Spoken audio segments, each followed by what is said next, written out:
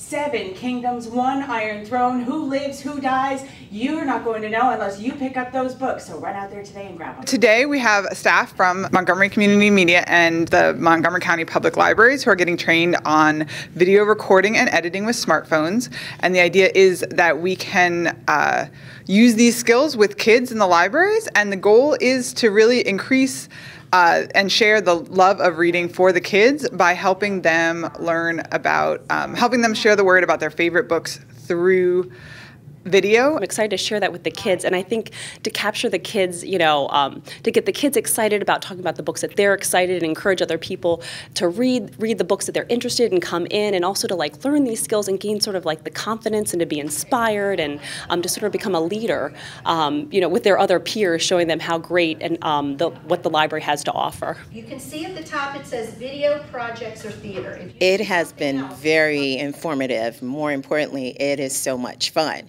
Now I see why professionals like to be out there because shooting captures exactly what you want to say. And this way, when your audience sees it, something that they couldn't really put together, this way visually, they're able to see it. And so I really think it's a lot of fun.